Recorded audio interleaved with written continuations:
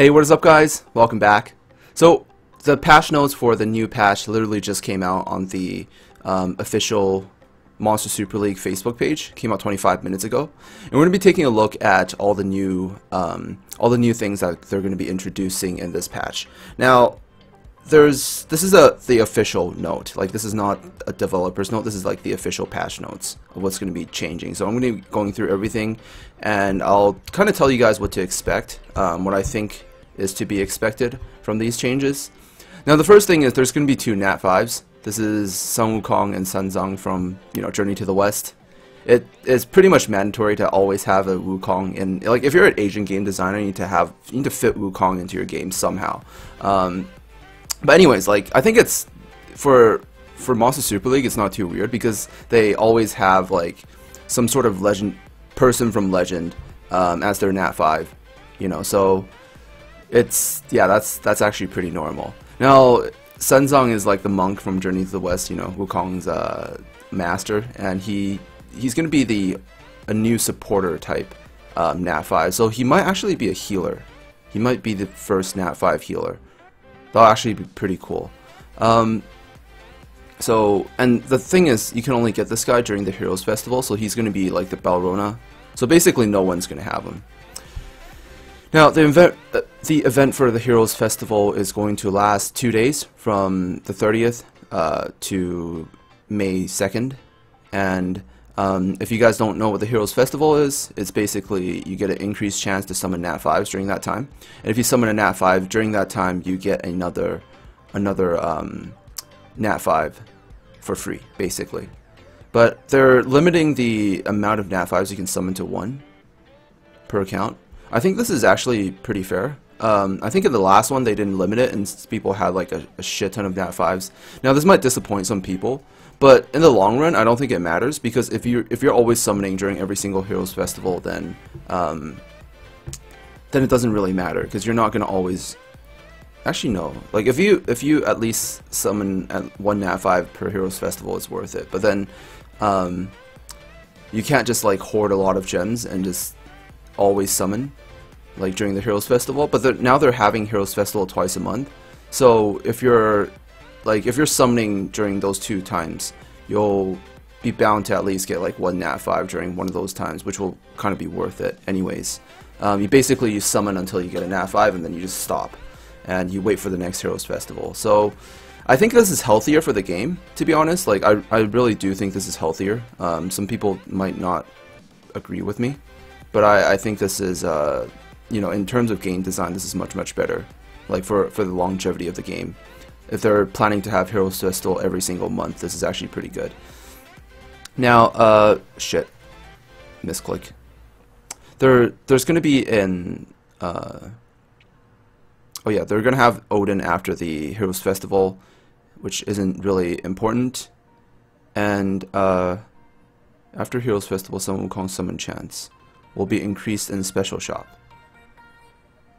And you can get Balrona and Sun Zhang during Heroes Festival only. So you can still get a Balrona now, but now you can also get Sun Zhang, which is I guess it's alright, but it's it's going to be really, really hard to Evo 3 those monsters if you can only get them during Hero Heroes Festival. Um, you can check the limited Astromon. Alright, that's that's actually pretty good. This actually eliminates a lot of confusion um, for people. Now, there's also going to be a rebirth um, part of the Heroes Festival as well. Um, actually, no, this is actually about the Heroes package, not about the rebirth. Um, the Heroes package is basically what I expected as well. It's basically a package that you can buy that um, gives you gives you a ticket that allows you to do 110 plus 1. And it's basically at a discounted price. So it's cheaper than buying Astro Gems.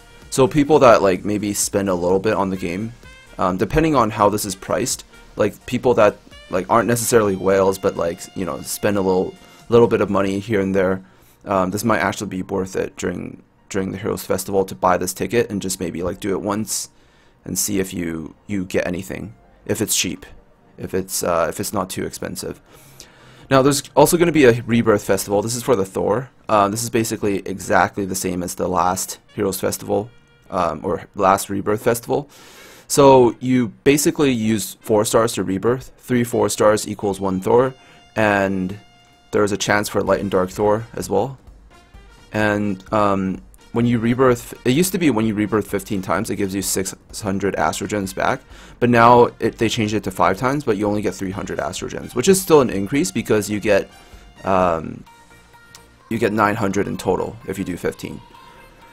Now, um, please astro please refer to Heroes Festival notice. Alright, uh, balance and adjustments. Some Astromons will be balanced, so I don't think they have they might not have all the news of, of the balancing in their images, but I'll, I'll, take a look at that later if they actually do have it.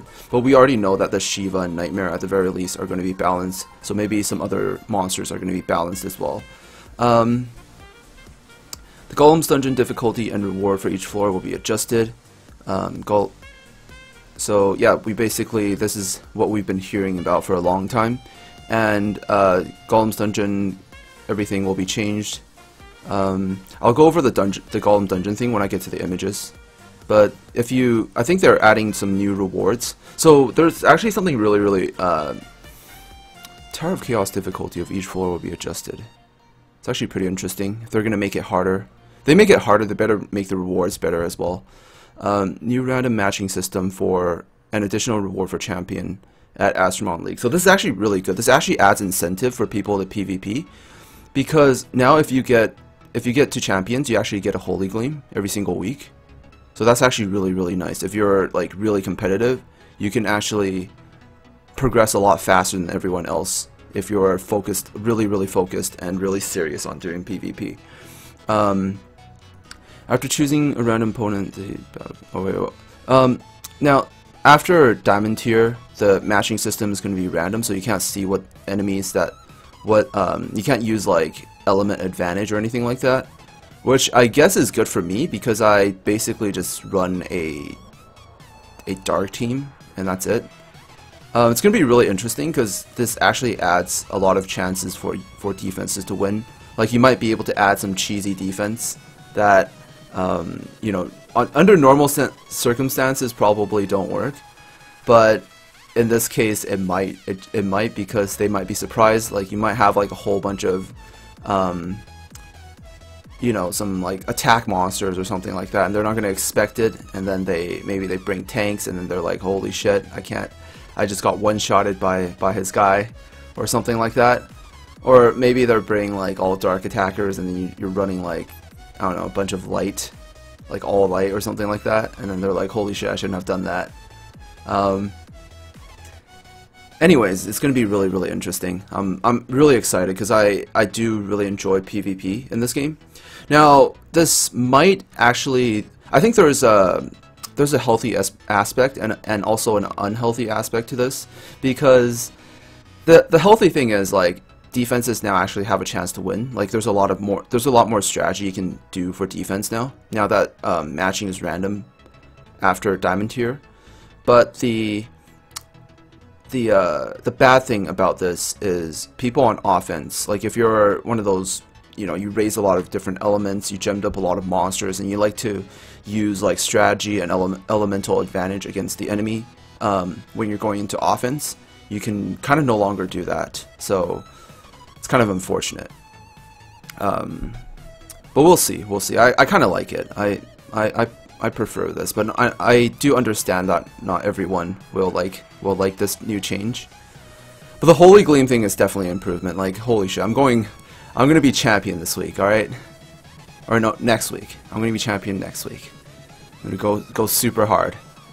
Battle results, uh, window, UI scenario, and Astromon League will be improved. I don't even know if I can make it though. Gotta get that Evo 3 Water Persephone. I might be able to make it. Also gotta set up some really cheesy defense. I have so many ideas going through my head right now. Now, now that I just, uh, I just read that. Um, the Dark Penilla event's gonna be ending, and this is basically everything that's talking about the golems. So I'm gonna talk about the golem changes here, um, using their images. Now, the the changes are actually pretty simple. It's like the, the elements are going to be changed. Uh, B1, nobody really farms B1 to B4 or B5 at all. So um, I think most people are going to be starting out at, on B6 if you're like, because you can just get 4-star gems from, from the normal maps, so you don't really need to come here and you don't need, really need to do the lower um, golem floors really at all. And you can basically level monsters while while farming gems. So there really is no reason to farm like B one through one through four. Um, it actually depends. Like maybe they they increase the drop rate of certain certain things, but especially now since um, gems only drop four stars at the at max, there really is no reason for you to farm B4 at all. Basically, everyone's going to start at B5, and they're going to be farming. Um, yeah, B5 basically has all the shapes. So B5 gives you three to three to five star gems. Um, maybe they start at B5. Possibly they could skip to B6 if B6 is easy enough. Then B6 has three to six star gems, so you actually have a chance to get six star gems. And B7 to 10 basically still drops the same exact gems as before. The only difference is the elements are changing. Now, for most people that are farming um, in the mid game, they're probably at the stage of B7, which their B7 is water, and they're mostly using a wood team because wood has element advantage against water. This is no longer the case, so um, it's going to get changed to wood. So all the important monsters now, I think, uh, that people want to aim for, like the first monsters that they want to raise, like for new players, are going to be fire element instead of wood. Actually, it depends because there's a possibility that B8 and B9 is going to be like the B B8 B9 situation that we have right now, where B B9 is actually easier than B8. Um, but I really don't see that happening because now we can use elemental advantage. It really depends on the, the skills of the bosses. So they actually announced the skills of the bosses, so we can take a look at that as well. Because basically B7, 8, and 9, they're supposed to be just as hard as each other. Like in terms of difficulty, in terms of like monster, um, the balancing of the monsters, the bosses, the, the, the minions and everything, they're supposed to be on the same difficulty level. So there is a possibility of newer players, if they raise mostly wood teams, they could use like um, a friend's reps and refill through like B7 and B8 and then skip straight to B9 and start farming using their wood team against the water boss for triangle gems. There's that possibility, um, but it depends on the on the actual skills of the boss and the skills of the minions uh, of that stage. Now, Golem resistance um, to Thirst and Taunt will disappear. So basically, Golems are going to be no longer immune to Thirst and Taunt. This is pretty big because it opens up a few strategies that you can use against the Golem boss. It is actually pretty good.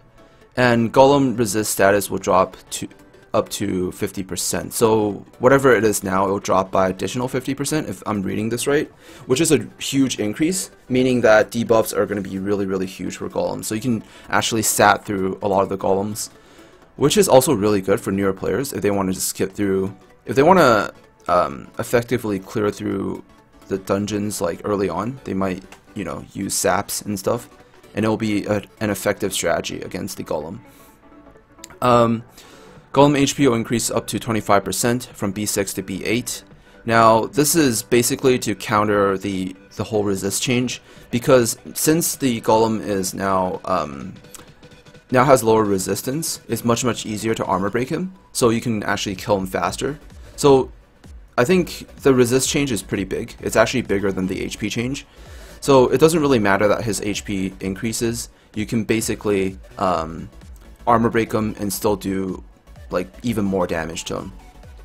Now this is also really big for people that want to use saps because sap does HP percent damage to enemies. So with more HP, your saps are going to be doing more damage, and less resistance means you land more saps. So sap's going to be an effective strategy against the golem. Another thing is um, if you if you guys have any like uh, you know monsters that have courageous strike or HP leverage, the B10 boss actually already has a lot of HP. So with this 25% increase, the monsters with HP leverage actually does um, a significant amount of damage against the boss. So monsters like Dark Thor and stuff are probably going to be pretty good. I don't know what monsters have HP leverage, I, I, I really don't. I think like Wood Siegfried or something has it. I, I can't remember exactly. Um, and then the gem drop rate of B1, 7, 8, 9, 10 will remain the same, which is good news because they better not nerf that. Now, this is the skills of all the golems. Um, we're going to skip through... Yeah, we're just going to skip through to, to B6. Like, there's really is no point farming B1 to 5. Maybe B5. Oh, Alright, we'll take a look at B5 really, really quick. Defense down, buff breaker. Um, the Guardians on, on, on the right. So this, these guys have defense down, buff breaker as well. Basically just uh, increases more threat. Oh, no adjustment, but then buff breaker becomes thirst, which is actually really annoying because thirst can can mess up your healers. Um, now, for B6, they they put blind and attack down. So I guess they're trying to make it so you can't farm B6 as fast because if they land blind and attack down, then you can't do as much damage. They also have buff breaker, which counters shields if you try to block out their um, their things with with a shield. They can use. Oh wait, no, buff breaker doesn't break shields, right? You need shield breaker for for breaking shield. So I guess it doesn't really matter. You can probably still use shield for this. And um, it also has attack up for the boss. So basically, they're trying to make a B6 like a just a regular tank and spank. Really, just try to try to um, get strong enough monsters to clear through it. Now B7 is wood. Um, it turned into Petrify and Taunt, Fatigue and Shield. So I guess Shield's more annoying if you want to use a Sapper comp against this, but I guess Shields are definitely still breakable. Um, you could use like a Shield Breaker plus... Are there any Fire Shield Breakers? I don't I don't really know. I, I don't know too much about it. Um, might not really be worth doing. You might just want to have enough damage to with fire units to be able to, to clear through this. Since they have, um, golems have lower resist, just basically armor breaking him and then doing lots of damage will be able to kill him. So I think this this boss is just going to be really annoying. He's not going to be really threatening because he just has Petrify and Taunt and these are not really any high threat skills. Same thing with Fatigue. It basically um, just makes the whole fight really annoying. Actually, no, these are the Guardian skills. They do have the Golem skills, right, as well? No, they don't have the Golem skills. That is unfortunate. Um, but we can kind of uh, kind of predict what the fight's going to be like, because basically what the what this stage is trying to do is trying to stall the fight. Because since this one has Petrify, you it, it'll petrify you and basically waste a turn, and then this one likes to taunt which also likes to waste a turn because you will have to spend a turn attacking it. And It probably has a lot of HP, so it's going to be quite annoying. Um, reduce stunned enemy defenses for two turn. Oh no, oh no, that was that's the old one. It turned into attack down two turns and petrify. Shield breaker defense up. Now, it's a fire boss. There's a possibility that the boss either has some sort of really threatening debuff, since they're designing it like this, because um, they, they have Shield Breaker and a lot of really annoying, um, like a really stally debuffs as well. It, it, there is a possibility that the B8 boss might be a Sapper boss. It actually makes a lot of sense if this boss is, is a Sapper boss because if you think about it, both his minions um, basically prolong the fight, and it does an even better job than the B7 boss because attack down is more annoying than than anything. Like it basically just decreases your damage and then um, Petrify makes it so you you basically waste a turn. Shield Breaker makes it so you can't use shields to counter the boss. So if he has like some some sort of sap or really annoying debuff, you can't really use shields to counter that. And then defense up makes him really tanky, so it's to counter you armor breaking him and trying to um, get him low. So there, it actually might be an effective strategy to use Sapper against this boss, and there's a lot of really good water sappers like um, Water Sea Star, Water Miho, Water Yuki.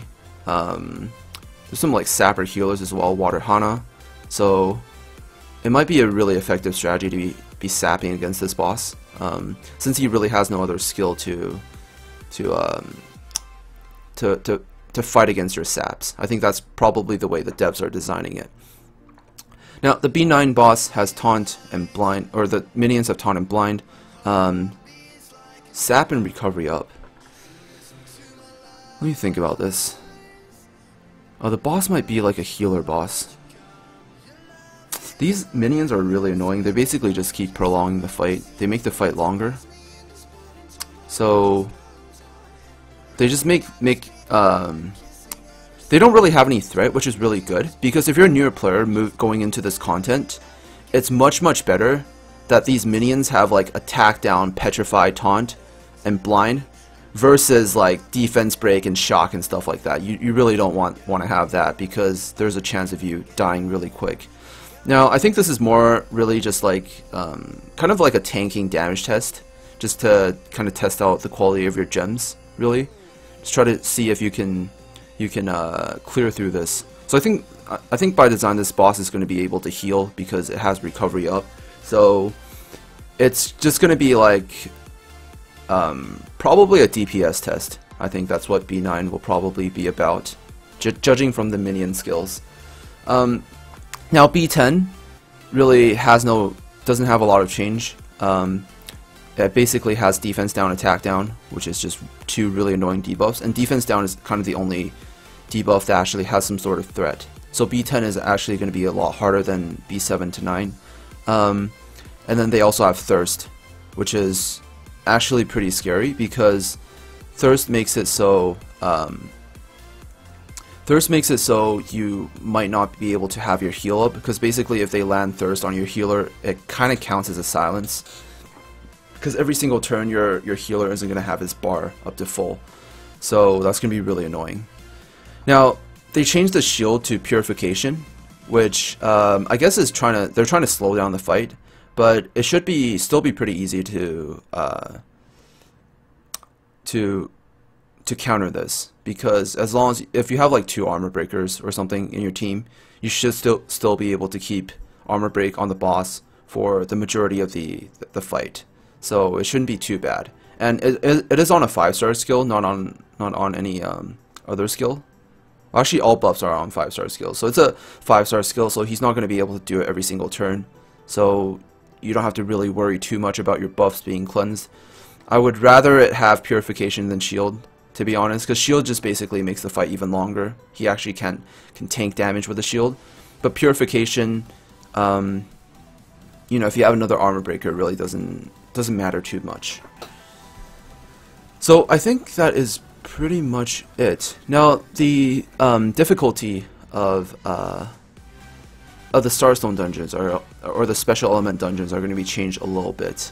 So boss level is going to be lowered basically on all these, and Astromon level is going to be lowered on all these as well. So it's going to be much much easier for newer players to be farming high starstones to six star their monsters, because I remember when I was when I just started out, it was it was it was just hell. It was just pure hell trying to farm my first ever six star. Um, so now it's going to be a little bit easier. I think the game is definitely going to be a lot easier for newer players to, to get into and progress. Um, and catch up really. I, th- I think they it definitely need, does need that because we have all these players like that are really really far ahead. It's really hard for new players to to come and catch up if they really want to try hard and be competitive in this game. So yeah, this will be pretty good. Um, Tower of Chaos is also going to be changed. HP defense of Dark Lilith will slightly drop, not important. Floor 50. Um, floor 50 is actually pretty big because the boss is actually just a, he's, he really is just a damage test. It really is just a tank and spank for floor, floor 50. Um, you just got to be able to tank enough damage, do enough damage. And floor 60 is not important either. So, um, I guess the only significant changes to floor 50, it just makes clearing floor 50 a little bit easier. So I guess um, newer players will be able to effectively clear to floor 50, maybe during their first month, as long as they didn't join at like the end of the month. If they join at the beginning of the month, they should be able to progress till to floor 50 um, within the first month. So that's actually pretty good too. Now, that is pretty much it for the changes. Now, unfortunately, we couldn't see the actual skills to the golems. We will have to wait for the update for that, so um, yeah, just stay tuned for when I actually do take a look at the update. It, it's going to be coming out in about 24 hours or so, so yeah, we'll see about that. So, that's pretty much it. Thank you guys so much for watching, and I'll see you guys in the next video. Peace out.